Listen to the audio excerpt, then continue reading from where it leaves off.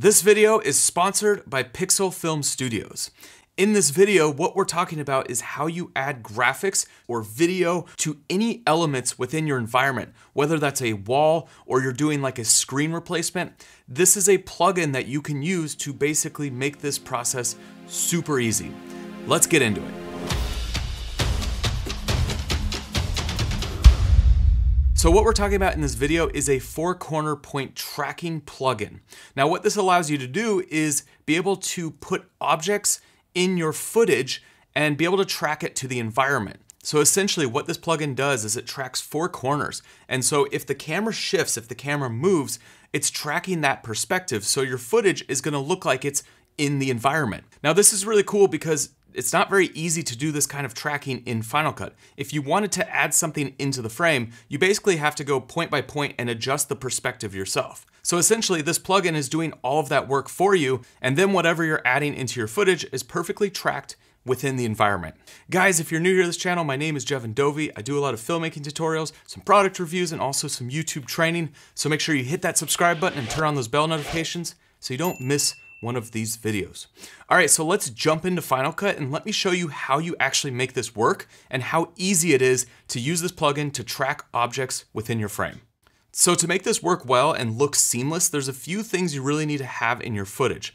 First is you need to have a clear and visible surface throughout the shot. And second is you have to have four clear trackable points in the corners. Now there's two tracking types and you're gonna use the four corner point if you have reflections or moving objects within the desired area that you are tracking. So let me just show you this easy trackable shot that I have of a woman working out with a green screened iPad in the background. So the first thing you wanna do is drag your auto perspective tracker on top of the footage. It's gonna add a layer above the shot that you're working on and you wanna make the plugin layer the exact same length as the shot that you're trying to track. Now put your playhead at the very beginning of the shot, and you're gonna highlight the adjustment layer, go over to your info tab, and we're going to click track editor. So once you're in here, you're gonna see a few different tools. At the bottom here below your footage are the controls to be able to zoom in and move the image around so you can see what you're going to track. On the screen, you're gonna have your box and your four points that you're tracking, each of the corners. And then on the right-hand side, you're gonna have a few controls. So the default tracking type is planar, and this one's gonna be used most of the time unless you have something moving within the box that you're tracking. And then underneath that, you have track quality. So if you pull it all the way up to 100%, you're gonna do the most detailed tracking. However, it's gonna take more time to process. So depending on how clear the four corners are of your shot, you will adjust this setting and find what works best. Because this shot is super clear, I'm just gonna leave it at 50%. Now what I'm gonna do is take my selection area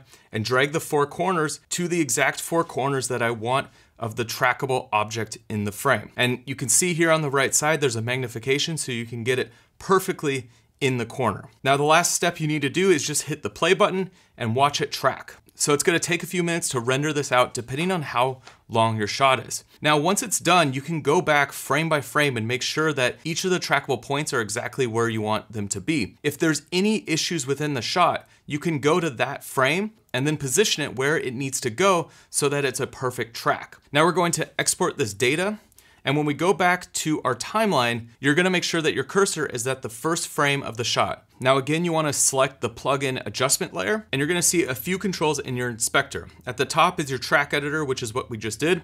If you just wanna start fresh, you can clear all data here. But underneath that is your drop zone controls. So first you need to turn this on, and it's gonna put just a basic gray drop zone over the space. You can play back your footage and see how it looks with just the gray, making sure that the four corners are mapped out perfectly. Now what you wanna do is make sure your cursor's at the first frame, and you're gonna select your drop zone. Now you're gonna select the clip that you want put in that drop zone. And you have a few controls once you select this. You, you, can move it on the X and Y axis, and you can also scale it so you can make it bigger or smaller. Now underneath that, you have two modes. You have your blend mode and you have your opacity. So depending on what kind of effect you want it to have with the footage in the background, you can use these effects to make it look more natural. So because this is just a clean screenshot, I'm not trying to have any of the background show through. So I'm just gonna leave the blend mode at normal and I'm gonna leave the opacity at 100%. And then at the very bottom of your inspector is your motion blur. So if you have some motion blur in your frame, you can match that by using this slider and pulling it to the right. And just like that, you now have your four corners tracked, you embedded your object,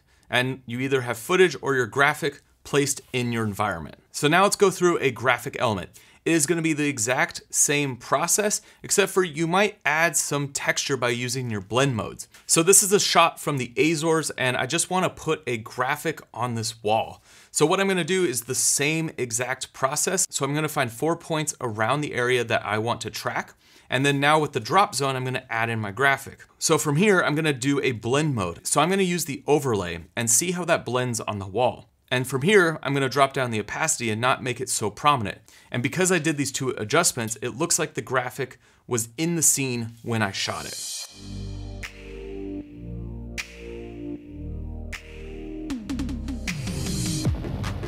So this tool is super powerful if you're looking to track objects within your frame.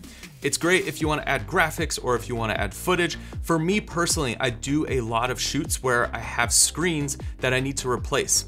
My production company is a fitness video production company and a lot of the commercials that we do are people working out at home with a screen. So I'm always doing these kind of screen replacements and this makes it super easy for me to track that and just add that footage in. Now there's lots of other applications for this. You could put graphics in, text, anything in your environment to basically enhance the experience for your viewers. Guys, if you want to see more information about the perspective tracker, I put a link down below in the description, and there's also a discount code down there for you.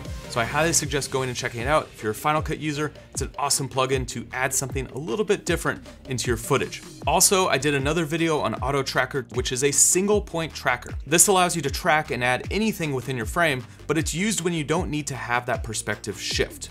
So guys, I'll put that video right here so you can check that out. And that's it. I'll see you on the next one.